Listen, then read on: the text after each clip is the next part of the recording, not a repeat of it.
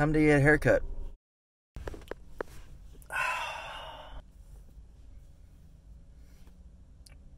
Looking nice. Bye. Dude, I went to get coffee and the baristas got locked out. The baristas literally told me that they got locked out. No coffee in the morning. Everything is going to crumble. It's all over. How can I continue? First world problems.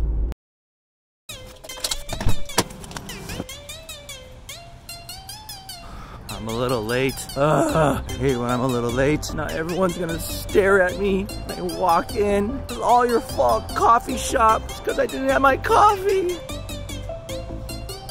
This is me eating super fast.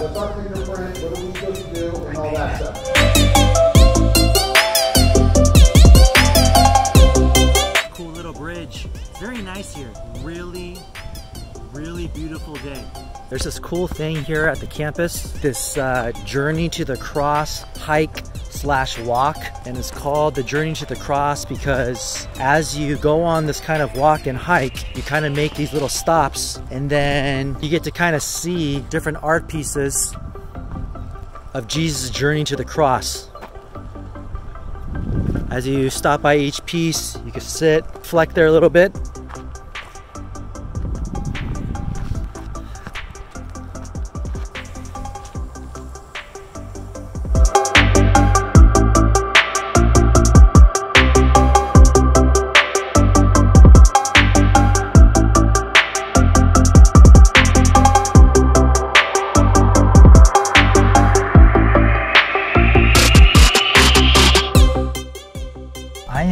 coffee shop in, I think I'm in San Juan Capistrano. I looked up a coffee shop on Yelp and I saw the name of this coffee shop and I had to come here. I was like, this name is so dope. I gotta try it. And this place has five stars on Yelp, which is crazy. So let's check out this guy's coffee. This is it. Let me show you the name of this guy's coffee shop.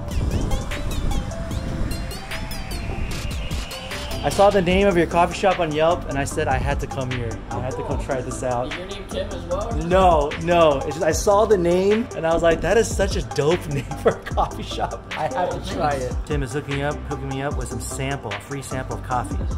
They use coffee from Seattle. I'm from Seattle, by the way. Oh, really? That's cool. So my brother, I went to Niguel Hills Middle School. Okay. My brother went to uh, Dana High, and then after that he went to Laguna Hills High School. Okay. Yeah, but I was about to go to Aliso, and then we moved. Cool. Oat milk latte.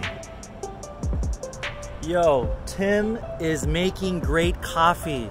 Oat milk latte. I'm here in San Juan Capistrano. Even though it says that right there, the shop is called Tim is making great coffee. I just talked to Tim for like 20 minutes. This guy is the nicest barista slash coffee owner I've ever met. Like seriously, the nicest. Genuine, great customer service, answered questions. He just a very, very nice guy. You guys should come here. He uh, knows a lot about coffee. Check this place out. Tim is making great coffee. No, it's not sponsored.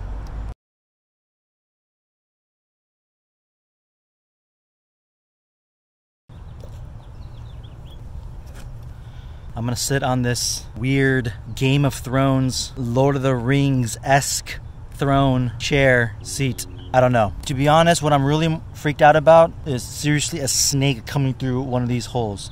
Like, no joke. Where I'm at, there's like snakes that roam around here. I wanna sit here on this wooden Game of Thrones type of chair and share with you my closing thoughts. I'm at this training session and something was said that's really resonating in my heart, and that is the church is a hospital, not a hotel. And when he said that, it hit me really hard. Many people think that the church is like a hotel. You kind of come in, you expect to be served, you're looking for a specific type of room, a suite, special amenities, and you're there to check in and check out. On the other hand, a hospital is a place where, yes, you're also going to be served because you're sick, and we should be thinking like that. The church is like a hospital there to serve the sick, help the sick, help the sick become better. Here's something else that makes the hospital illustration become a little bit more powerful. What if the church was like a hospital, but you're going there not only because you're trying to find medicine, you're trying to get healed from a sickness, but what if you go there also to help others who are sick? I know that's not what a traditional hospital is like. That's not how a hospital functions. That's where the church takes over.